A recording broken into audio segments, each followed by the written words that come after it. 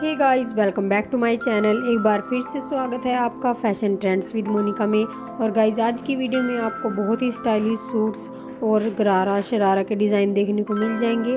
I hope आपको video अच्छी लगेगी। फ्रेंड्स अगर आपको वीडियो अच्छी लगती है तो प्लीज़ वीडियो को लाइक कर दीजिएगा और अपने फ्रेंड्स और फैमिली के साथ शेयर भी कीजिएगा।